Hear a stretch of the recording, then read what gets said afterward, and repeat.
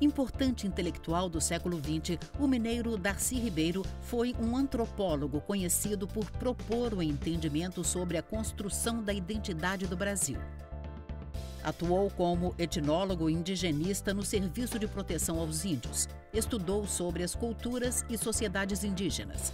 Ajudou na criação do Parque Indígena do Xingu, no Mato Grosso, e no Museu Nacional do Índio, no Rio de Janeiro.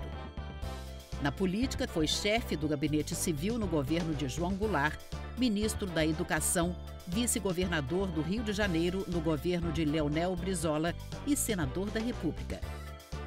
Darcy Ribeiro ainda participou da criação da Constituição Brasileira de 1988 e da nova Lei de Diretrizes e Bases da Educação Brasileira, promulgada em 1996.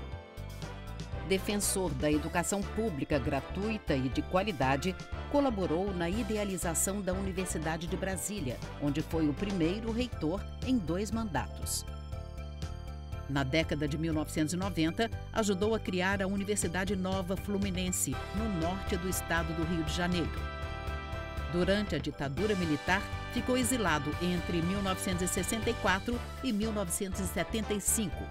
Assim, conheceu a América Latina. Deu aulas de antropologia em universidades no Uruguai, Venezuela, Peru e Argélia, na África.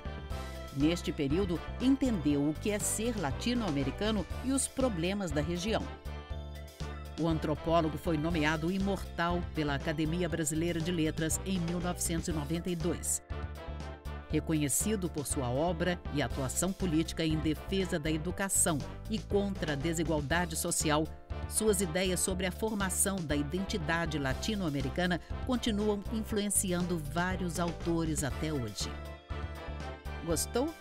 Repasse esse conhecimento.